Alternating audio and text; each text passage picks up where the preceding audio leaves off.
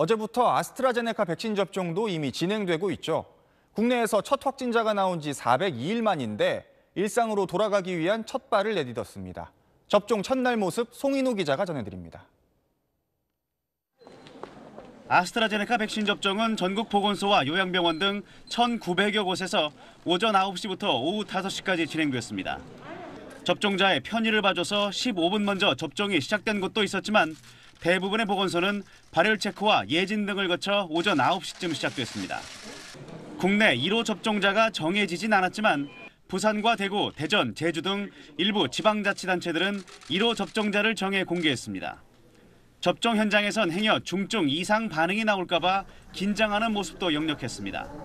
많이 신경을 썼고요. 앰뷸런스뿐만이 아니라 처치하는 약품, 뭐 산소통 이런 걸 다 지금 완벽하게 준비해 놓은 상태입니다.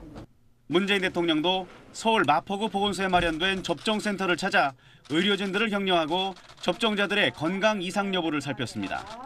일반 독감 백신 접종 받을 때하고 좀 뭐 다른 점이 있습니까?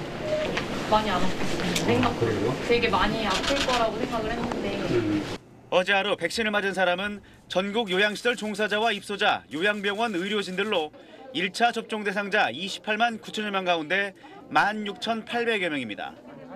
1호로 맞게 된다는 건 진짜 모르고 왔거든요. 백신 맞으니까 좀 기분도 괜찮은 것 같고 안심도 되고 두 차례 맞는 아스트라제네카 백신의 2차 접종은 8주 뒤인 4월 23일부터 시작됩니다. SBS 송윤호입니다.